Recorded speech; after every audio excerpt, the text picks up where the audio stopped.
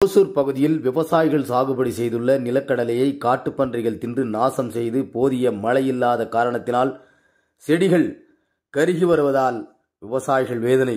கிருஷ்ணகிரி மாவட்டத்தில் ஆண்டுதோறும் பருவமழையினை நம்பி விவசாயிகள் தரிசு நிலம் மற்றும் வானம் பார்த்த பூமிகளில் குறைந்த முதலீட்டில் அதிக வருவாய் தரக்கூடிய எண்ணெய் விந்து பயிர்களின் ஒன்றான நிலக்கடலை பயிர்களை மாவட்டம் முழுவதும் சாகுபடி செய்துள்ளனர்.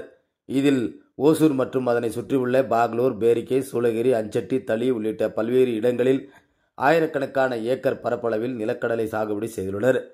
சாகுபடி செய்துள்ள நிலக்கடலை காய்பிடிக்கும் நேரத்தில் போதிய மழை இல்லாததால் நிலக்கடலை செடிகள் கருகி வருவதால் விவசாயிகள் மத்தியில் பெரும் சோகத்தினை ஏற்படுத்தியுள்ளது.